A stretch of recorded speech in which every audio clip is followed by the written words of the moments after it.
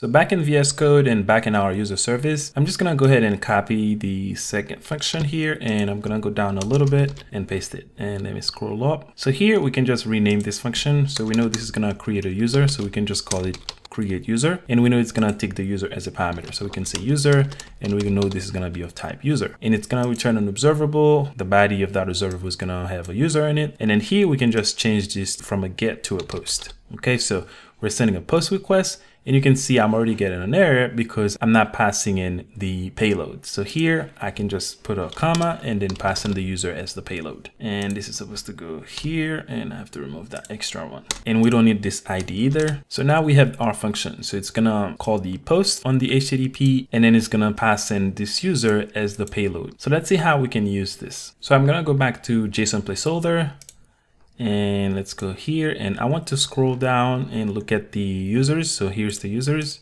So I'm gonna open it in a tab and I'm gonna scroll in so you guys can see. So you see we have all those users. So we can use any of those users so that we can test this function. So I'm gonna copy the first one and I'm just gonna go back to the project and then go back to the app component. And here I'm going to define that user. So I'm going to say uh, this user is going to be private because I want it to only be used in this class. I'm going to say this is user and it's of type user. So our type. And then I'm going to set it equal to this object literal here. So you can see now we have this user. And another thing I'm going to do, I'm going to remove those double quote and replace them with single quote. So I'm going to do control F and I'm going to say search all of the double quote and replace them well with a single quote. And then I'm going to click this to replace all and get rid of this. Okay, so now you can see that we have this user, which is of type user, so our shape, and then we're passing in all of this information. So I'm gonna go ahead and change the name. So let's say this is gonna be Junior. Let's say the username is Junior, which is me, and that should be enough so that we can see that this is a different piece of data. Now notice that we're getting an error. So we need to import that. So quick fix, import. So now we have the user imported. But the other thing is we don't want to send this ID, right? Because we know that this is going to be provided on the server. So whenever we send this request, the server is going to create this ID and then save this new resource with that ID, right? So I want to not send this ID. So if I remove this ID, then we get an error because we're not adhering to the actual shape of a user, right? So what I can do is I can put it back and let's go into the interface and I can put a question mark here.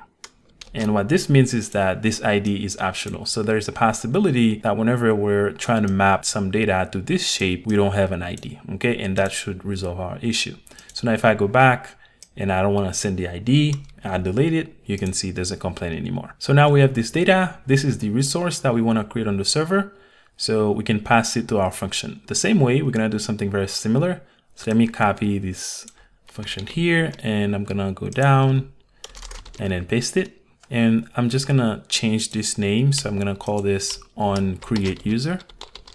And we know it's gonna take the user. What I can do is I can either pass the user that I just created on this class, I can just pass it directly inside of this service call. So here I'm gonna remove this and I want to call the create user. So create user and I know this takes the user. So I'm gonna specify the user that I have on the class and I'm going to change this to done creating user. So we have this call now that we can make and we pass in this new user that we defined up here and then this new user should be created on the server. So now we have to call this function. So let's go up and I'm gonna go ahead and just uh, maybe not call the second one and let's call the new one that we just created. So on create user.